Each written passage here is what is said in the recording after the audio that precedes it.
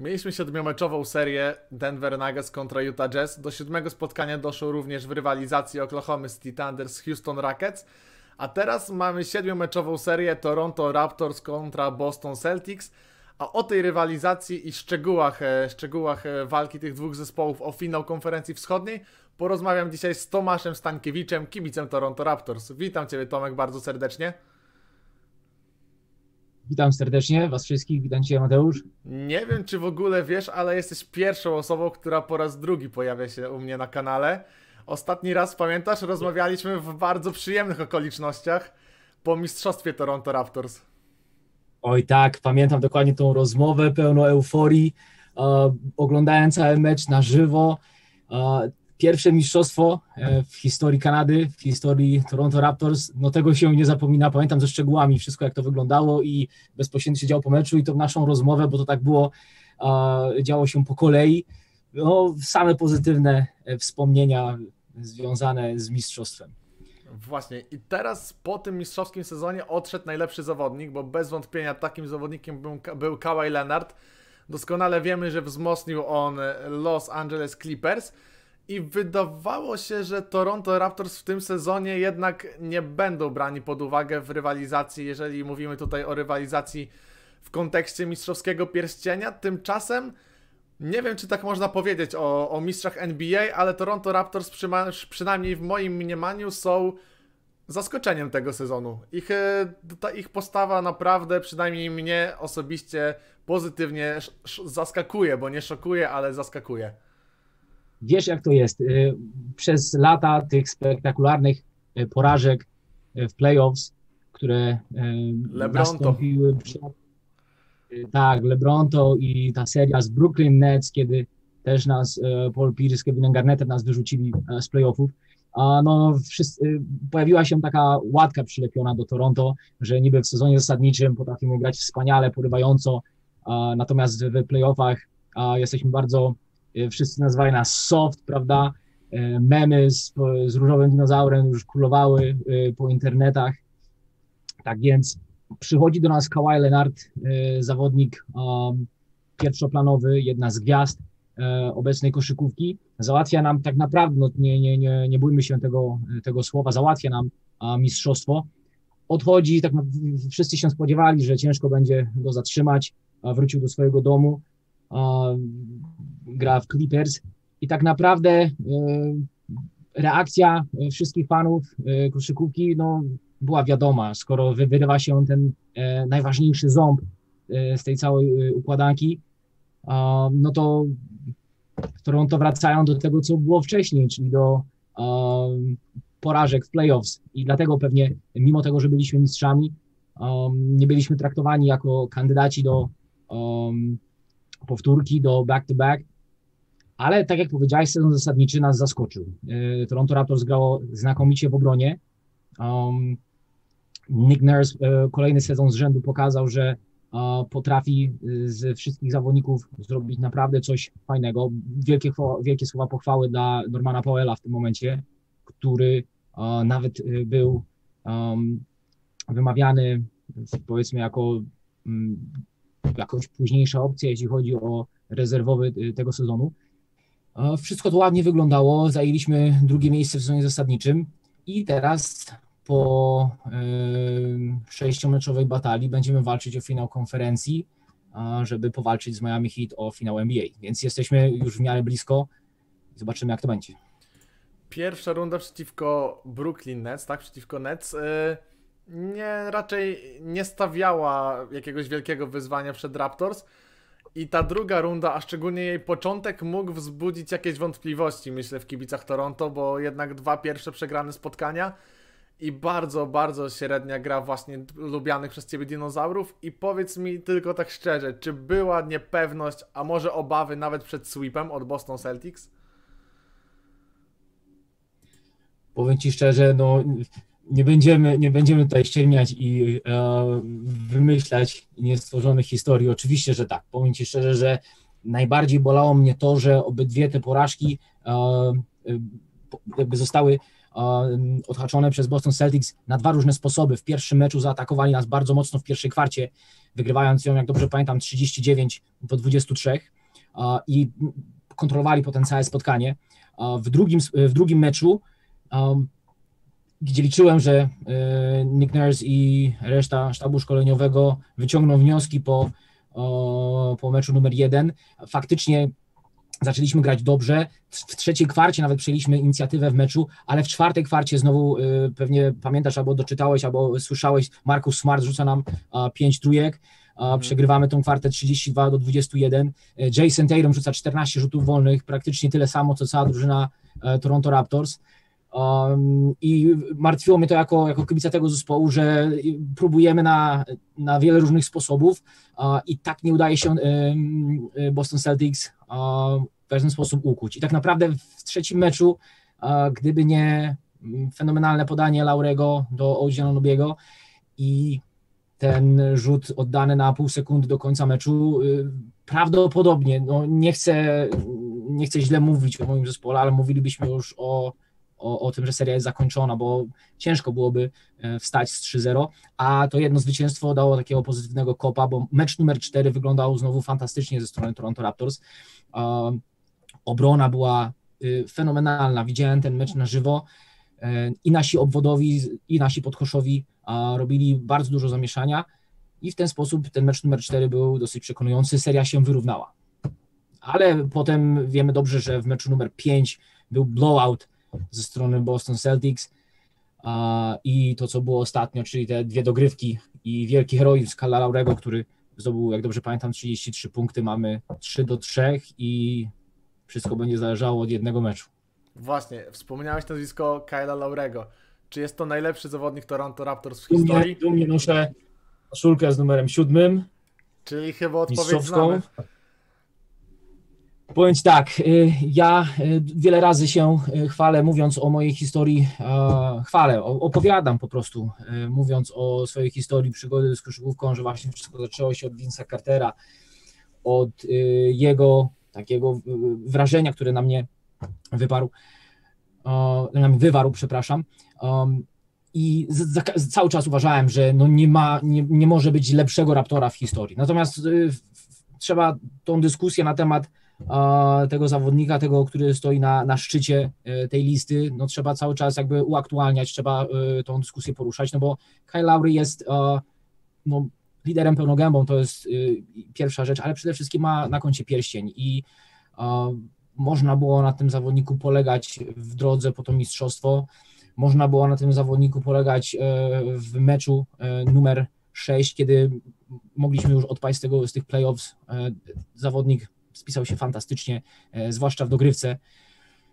Uważam, że jeśli będzie kończył karierę, a jeśli jeszcze uda się Toronto zrobić zamieszanie w tym sezonie, nie będzie żadnych wątpliwości, że jest najlepszym raptorem w historii. Oddajemy szacunek Vince'owi Carterowi za wszystko, co zrobił dla koszykówki na całym świecie, dla koszykówki w Kanadzie, dla Toronto Raptors. Um, wiemy dobrze, że nie możemy opowiedzieć nawet historii koszykówki e, bez Vince'a Cartera, taka to jest e, ikona tego sportu.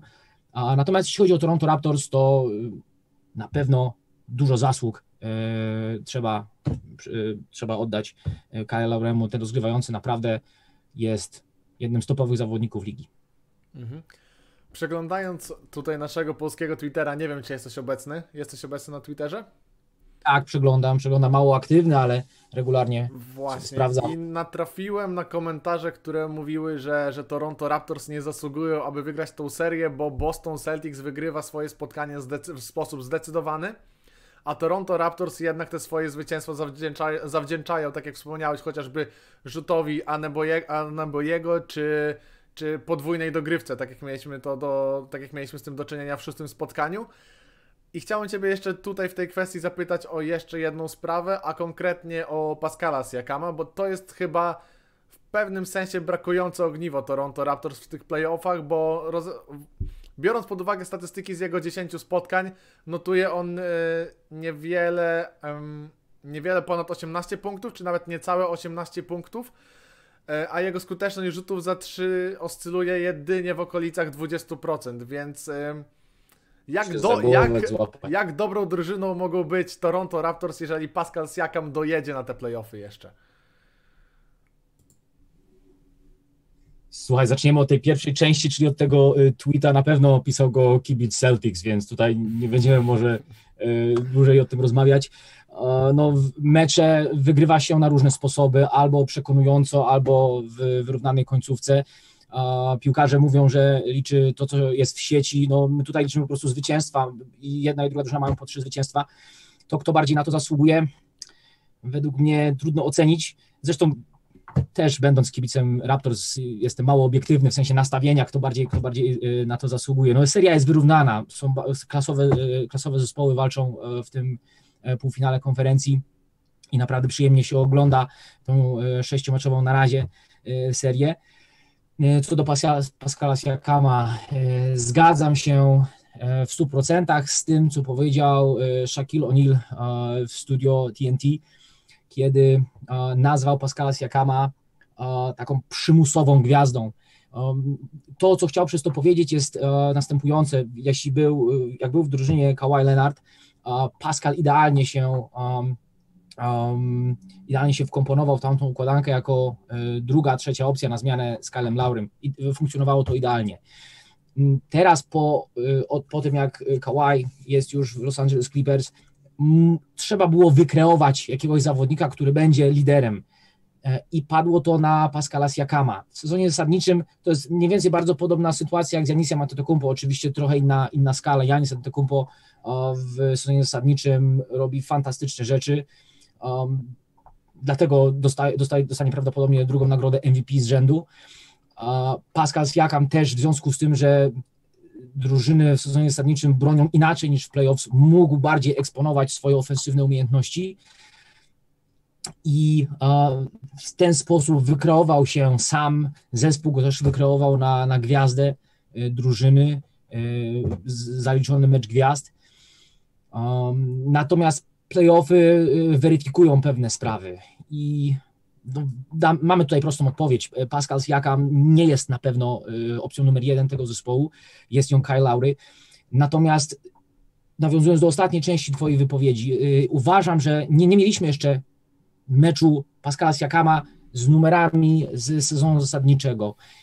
Uważam, że jeśli taki nastąpi w meczu numer 7, ciężko będzie Bostonowi odpowiedzieć na, na to, co mają Raptors do zaoferowania. Oczywiście trzeba ciągle pamiętać, że Boston Celtics to y, zespół, który najlepiej broni w bańce, zespoły y, traci najmniej punktów, zespoły rzucają na najgorszej skuteczności zarówno za 2 i za 3, więc to może nie mieć y, przełożenia, może być może Pascal Siakam z tą słabszą skutecznością wytrwa do końca, ale jeśli by wszedł na swój odpowiedni poziom, na, na taki, do, do którego nas przyzwyczaił, uważam, że wtedy będzie o wiele łatwiej nam o zwycięstwo, a Boston Celtics y, ze swoją słabą ławką mogą nie mieć już na to odpowiedzi, bo to będzie czwarty zawodnik po um, Laurym, Van Vlicie i Ibace, który będzie regularnie punktował i wtedy będzie dla nich niekoniecznie dobrze, ale mówię, no to jest gdybanie, to jest wróżenie, to jest wróżenie fusów, co, co by było, gdyby poczekajmy do tego piątkowego meczu. Mhm.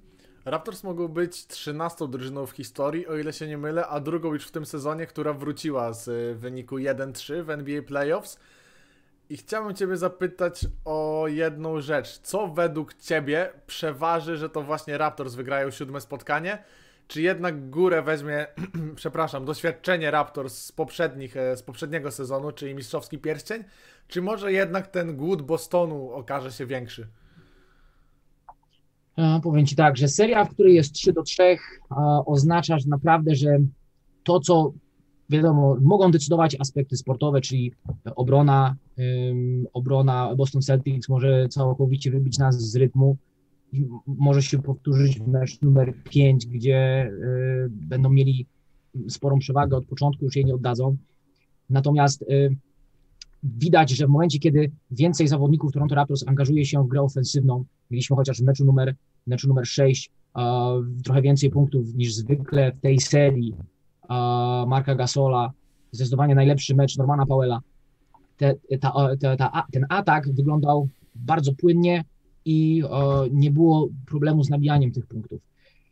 Mm. Ja jestem daleki od tego, żeby um, typować. Serce, serce mi podpowiada, że będą to Toronto Raptors, natomiast rozum być może będą to Boston Celtics. Nie będziemy, my jako Raptors Nation, nie będziemy załamani jeśli, jeśli ewentualnie coś złego się odpukać. Oczywiście coś złego się stanie, no bo walczyliśmy e, zaciekle, e, wyszliśmy z 0-2, gdzie tak naprawdę 90% fanów NBA nas skreślało. E, I nie chciałbym mówić tutaj też o doświadczeniu, doświadczeniu mistrzowskim, bo wiemy dobrze, że mieliśmy wtedy wyjątkowego zawodnika w swoim składzie, który brał na siebie odpowiedzialność zarówno po jednej, po drugiej stronie parkietu. A w tym zespole y, tego nie ma, jest to troszeczkę inna koncepcja. Akcenty są równo rozłożone, każdy musi od siebie coś dołożyć. Coach Nurse zawsze musi kombinować z nastawieniem, czy to w obronie, przede wszystkim w obronie, żeby wybijać z rytmu zawodników Boston Celtics, którzy są, no, jeśli chodzi o matchup, ogromnym problemem dla nas, bo mamy dwóch niższych zawodników na obwodzie, przeciwko nim jest gra Jalen Brown, który warunkami przewyższa Kyla i Freda E, i czasami jak po zmianach e, nasi mniejsi zawodnicy dostają Jasona Tatuma, musimy kombinować cały czas. I dlatego mówię, e, nawiązując właśnie do, kończąc ten, ten wątek, mm, co zdecyduje, no, jest, jestem, mówię, daleki od tego, żeby, żeby powiedzieć, no chciałbym po prostu, żeby to, żeby zdecydowało to doświadczenie mistrzowskie Raptors, ale jest, jestem, jestem, jestem bardzo podenerwowany tym, tym meczem numer 7, bo mówię, może jest 50 na 50, może, być, może zdarzyć się wszystko. W, przypominam sobie jak dzisiaj mecz numer 5, gdzie na pierwszych 18 posiadań Raptors mieli 2 na 15 z gry. No to była katastrofa. Jeśli powtórzy się podobnie to w meczu numer 7, no to nie będą w stanie Kanadyjczycy, zawodnicy z zespołu e, z Kanady się z tego podnieść i, i może być po meczu. Tak więc mecz numer 7 to, to jest zupełnie inne zwierzę. Naprawdę może zdarzyć się wszystko ja będę trzymał kciuki po prostu za mój zespół. Rok temu, o ile się nie mylę, również w drugiej rundzie doszło do meczu numer 7 i to właśnie wtedy był ten pamiętny rzut Kawaja Lenarda, tak? Dobrze mówię? To była druga runda? Tak, zgadza się. E... Zgadza się. To było przeciwko Philadelphia 76ers. Dokładnie. I 4-3 wygraliśmy. I to pierwszy, pierwszy w historii e, game winner w meczu numer 7. 7. E, wspomniałeś w swojej, swojej wypowiedzi wszyscy... nazwisko Freda Van Vlieta i czy to on właśnie nie jest cichym bohaterem Toronto Raptors, bo to był zawodnik, o którym jeszcze sezon temu, dwa sezony temu tak naprawdę mówiło się niewiele. Natomiast teraz on wyrasta, można chyba tak powiedzieć, na czołową postać organizacji Toronto Raptors. E, wszyscy zawsze łapią się za głowę, jak niski kontrakt ma ten zawodnik w zespole, jeden no, na pewno nie wyróżniający się. Czeka go solidna wypłata już w następnym sezonie. Y, wydaje mi się, jak wcześniej zadawałeś pytanie, co może mieć wpływ na y, losy tej rywalizacji. Oprócz tego, co powiedzieliśmy, że Pascal Siakam mógłby zaliczać te numery są zasadniczego. Tak wiemy, że on ma problemy w całej tej serii. Jego najlepszy mecz w którym był liderem Raptors, był na poniżej, prawie poniżej 40% skuteczności. I wydaje mi się, że tym głównym czynnikiem będzie postawa Freda Van Vlieta. Jeśli on zagra jako lider, zagra y, na skuteczności taka, która nie będzie poniżej jego poziomu i będzie regularnie punktował, będę wtedy bardzo spokojny, bo nasz, gra, kiedy nasi obwodowi Kyle i Fred grają bardzo skutecznie, wtedy ciężko jest nas bardzo pokonać. Mhm. A teraz chciałbym Ciebie zapytać czysto hipotetycznie, wybiegając już daleko w przyszłość. Raptors wygrywają Game 7 przeciwko Boston Celtics, następnie mierzą się w finale konferencji przeciwko Miami Heat. Do finału konferencji zachodniej zakładamy, że awansuje Kawhi Leonard. Tam najpewniej yy, dojdzie do, do rywalizacji właśnie z Los Angeles Lakers. I tak jak mówię, czysto hipotetycznie, finały NBA Toronto Raptors kontra Kawhi Leonard z, yy, z Los Angeles Clippers. Marzenie? Słuchaj, słuchaj, to jest marzenie. To jest marzenie każdego kibica Toronto. Mam nadzieję, że yy, nie, nie będę teraz tutaj naginał tej rzeczywistości i powiem to w imieniu wszystkich kibiców Toronto to spełnią, spełnią się nasze wszystkie marzenia. Będziemy mieli szansę od stanu 0-0, udowodnić, że jesteśmy co najmniej tak samo dobrym zespołem, jak kiedy wygrywaliśmy mistrzostwo z Lenardem. Idealne rozwiązanie. Bardzo dużo rzeczy może się wydarzyć. E, Clippers będą musieli zmierzyć się z Los Angeles Lakers, a my podmęczeni na pewno po tej siedmiomeczowej serii zagramy z, wy, z wypoczętymi Miami Heat, którzy no, zaskoczyli tak, taką łatwością, jeśli chodzi o wynik serii, zwycięstwem w Milwaukee Bucks. Bardzo niewygodny przeciwnik. E, obawiam się przy ewentualnej, przy ewentualnym zwycięstwie meczu numer 7 będę obawiał się o wiele bardziej tej serii z Miami niż z Bostonem. Mhm, no dobrze wiemy, że Miami gra koszykówkę, której chyba nikt się nie spodziewał, bo tam można, możemy śmiało powiedzieć, że oprócz Jimmy'ego Butlera i Bama Adebayo główne skrzypce odgrywają rookie, czyli mam tutaj na myśli Kendricka Nana, Taylora Hero przede wszystkim, Duncana Robinsona. To jest drużyna skrojona na przyszłość, która osiąga sukcesy już teraz, więc e, no Miami Heat na przestrzeni kilku najbliższych lat mogą być naprawdę postrachem postrachem NBA, tym bardziej, że o ile się nie mylę, oni chyba mają jeszcze miejsce na jeden maksymalny kontrakt. Nie jestem Zgadza się i i na, na pewno też trafiło do ciebie te informacje, że e, wymienia się, gdzie mógłby ewentualnie trafić Janis Antetokounmpo. Wiadomo, że on już teraz e, niedawno powiedział, że zostaje w Milwaukee, natomiast od tych słów, które wypowiedział niedawno do tego, co się stanie w off-season, jeszcze daleka droga, ale właśnie wymienia się najczęściej Golden State Warriors i Miami Heat. Jeśli pomyślisz sobie, że do tego zespołu mógłby dołączyć Janis, to ja naprawdę aż nie, nie, nie, nie, nie potrafię tego przetworzyć i ogarnąć, bo to będzie naprawdę coś niesamowitego. Janis mogący grać nie zawsze jako ta pierwsza opcja e, z Jimmy Butlerem, e, bardziej doświadczony Tyler Hero, tak jak mówisz, bardziej doświadczony e, o rok Kendrick Nunn, fantastyczna sprawa. Miami Heat um, są regularnie budowani przez Pata, Pata piki w drafcie, wymiany, podpisy zawodników, świetny ruch z Andrzej Godalą, E, zawodnicy e, nie mają wykreowanego aż takiego e, mocnego lidera. Sam Jimmy Butler mówi, że on nie ma przecież parcia i presji na to, żeby zdobywać regularnie około 30 punktów w meczu. Niech robią to inni. Goran Dragic przeżywa swoją trzecią młodość. Akcenty są równo rozłożone. Jay Crowder gra fantastycznie. Swoje wnosi, swoje wnosi nawet Kelly Olynyk każdy tam zawodnik ma znaczenie, atmosfera przede wszystkim jest fantastyczna. Jimmy Butler cały czas powtarza, że e, to, w jaki sposób on może komunikować się z zawodnikami, wie, że w ten sam sposób e, role players mogą e, zwracać się do niego i on się czuje fantastycznie. Mówię, Miami Heat, bardzo dobra robota i należy się wielki plus tym, po tym sezonie, bez względu na to, jaki wynik osiągną. Mam nadzieję, że będziemy mogli porozmawiać również przy okazji rywalizacji z Miami Heat. Mam nadzieję, że wtedy również znajdziesz czas. Tymczasem dziękuję Tobie bardzo, dziękuję Tobie bardzo za rozmowę. Dzięki, dzięki wielkie. E, bardzo mi było przyjemnie, bardzo miło. I co, no, obserwujemy dalej playoffs i ja nie będę chyba spał w nocy z piątku na sobotę. Tak, bo piąt, z piątku na sobotę tak, jest mecz tak, na tak, tak. Jutrzejszej nocy, tak. O Jezu, kochany, już na samą się denerwuję, ale we the North i lecimy z tematem. Będzie dobrze. Dziękuję Tobie bardzo jeszcze raz za, za poświęcony czas. Dzięki, dzięki wielkie i do usłyszenia. Na razie. Tymczasem Was zachęcam do subskrybowania tego kanału oraz zostawienia łapki pod tym filmikiem. Dzięki bardzo i do zobaczenia.